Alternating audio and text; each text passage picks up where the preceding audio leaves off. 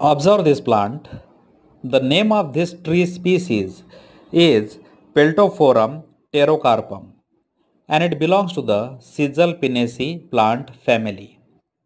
It's an tree habit and there is a solid strong stem at the center through which there are many branches coming out which creates the very large tree and it's an evergreen tree.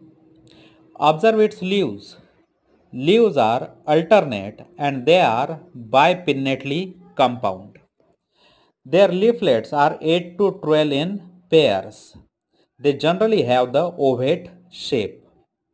Now they are entire and their apex is retuse nature. Now observe the flowers of this plant which forms the very unique racemes. These flowers are bright yellow in color.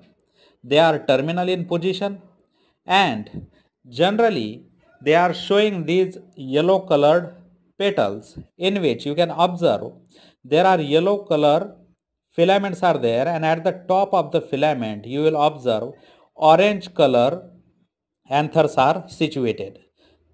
Then there you will always find the single stigma which is green in color. So there are many stamens but the number of carpel is reduced to the one only. So remember this particular plant species which is called Peltophorum pterocarpum which belongs to the Caesalpiniaceae plant family.